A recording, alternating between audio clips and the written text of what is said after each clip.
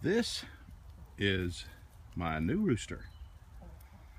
A friend of mine who I met through uh, the survivalistblog.net.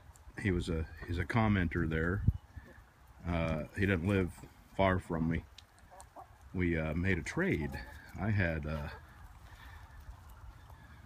that's the cage I used to bring chickens home, and I had another cage just like that that I bought for two bucks at a yard sale.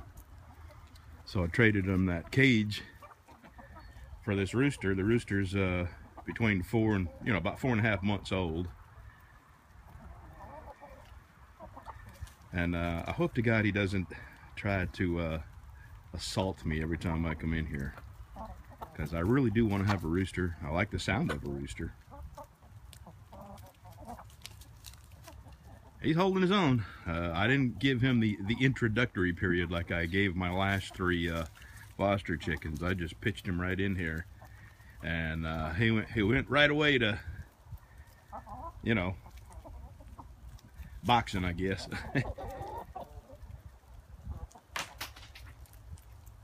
and uh, last night I came out here and looked in there. And sure enough, he had two ladies cozied up to him. so uh, he's a gentleman, I guess. Sharing his sharing his body heat. I'll keep you updated on him. I haven't come up with a name. I thought about Larry the Rooster, but my brother's name is Larry, so I don't want to name him a family member's name. I thought about maybe Rick the Rooster, but I give it some time. He's got real long legs, and uh, he looks like a little, uh, you know, his his feathers, the the colors. He looks like a convict, so maybe I'll come up with something. Hey, what was that guy's? Uh, what was that guy's name on? Uh, oh, Cool Hand Luke. That's what it is. I'm gonna name him Luke. That's what it is. Um, that's it. That's his name, Luke. Luke the Rooster. Alrighty. I'll keep you updated on him. Uh, I went to a flea market yesterday, uh, the Bonnie and Clyde flea market. It's in Arcadia, Louisiana, once a month.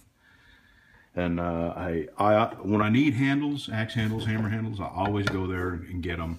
Uh, I gave three, no, six bucks each for the uh, for these sledgehammer maul handles.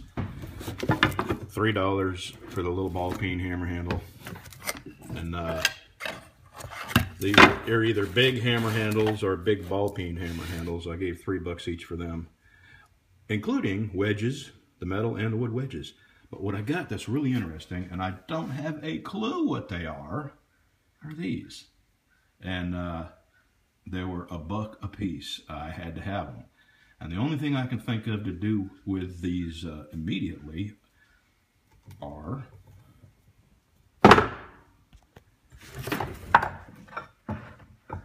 I'm going to make a war hammer, a medieval war hammer. And uh, I'll cut this off and sharpen it to a point. And man, that's going to be one hell of a, I mean, you know, just for show, of course.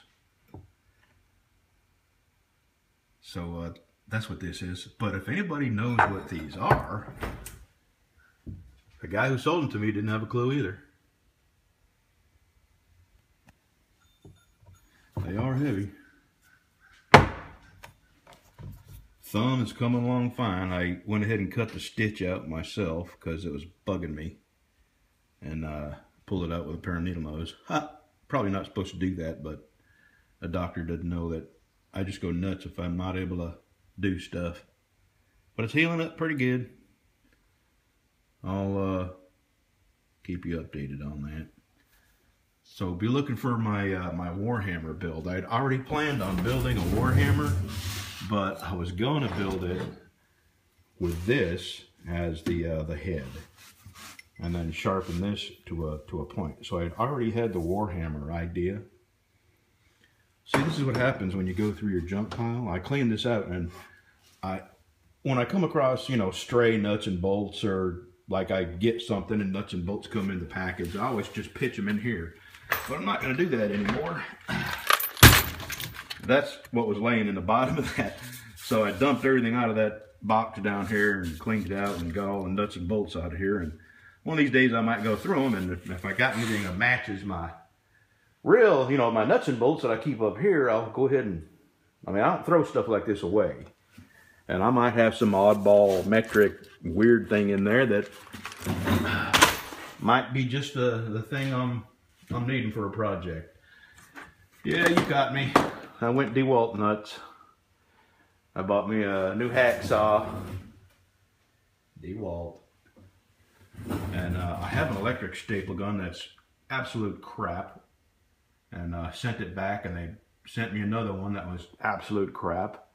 So I was stuck with no staple gun. So I went ahead and bought one. And uh, I think I already showed you them. It's uh, just drivers, nut drivers and uh, square Torx and uh, Phillips in this one.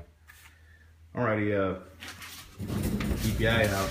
I want to be building me a Warhammer very, very soon. See you.